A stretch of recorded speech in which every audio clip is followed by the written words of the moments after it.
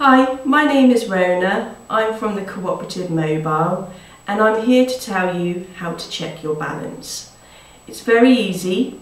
There are one of two ways in which you can check this.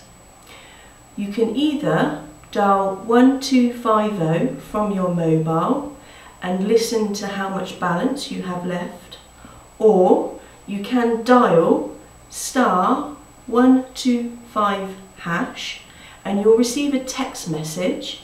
This will tell you how much is left of your balance or it will tell you how many minutes, texts or data that you have left on your bundle.